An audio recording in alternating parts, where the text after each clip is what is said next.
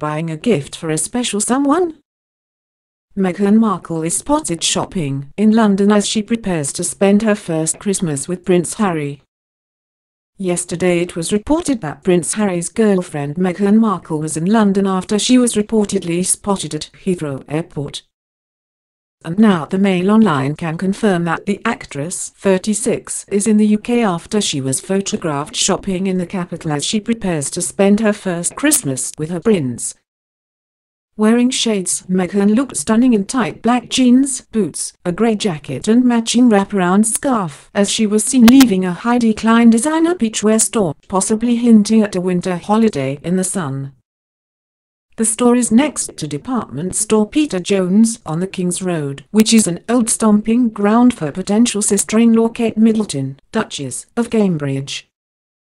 Meghan was clutching a £2,000 Prada handbag and a shopping bag from Sarah Chapman, which specializes in skincare. Meghan's arrival in the UK comes as speculation mounts over an imminent engagement between Meghan and Harry.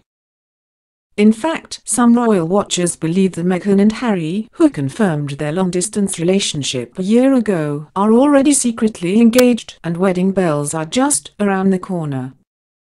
It has been rumored that 36-year-old Meghan is in London making final preparations for her permanent move across the Atlantic to set up home with Harry, 33, along with her beloved dogs, Labrador-slash-Shepherd Mix Bogart and 17-pound Beagle Guy. The American actress has just finished filming her seventh and final season of the US legal drama Suits, in which she stars as lawyer Rachel Zane, in Toronto. Meghan's body double sparked mass excitement just days ago when she posted a cryptic Instagram post.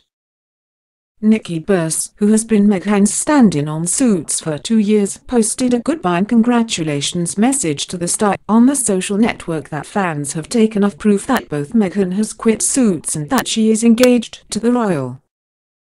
It's been an absolute pleasure and honor being your stand-in for the last two seasons, Nikki wrote. Though I've been on it Suits user for six years, the latter two has been my most memorable. Wishing you all the happiness in the world Bella. She added a love heart emoji and one of a champagne glass toast alongside some highly revealing hashtags. Sharp you deserve it and sharp love her she completed the post with.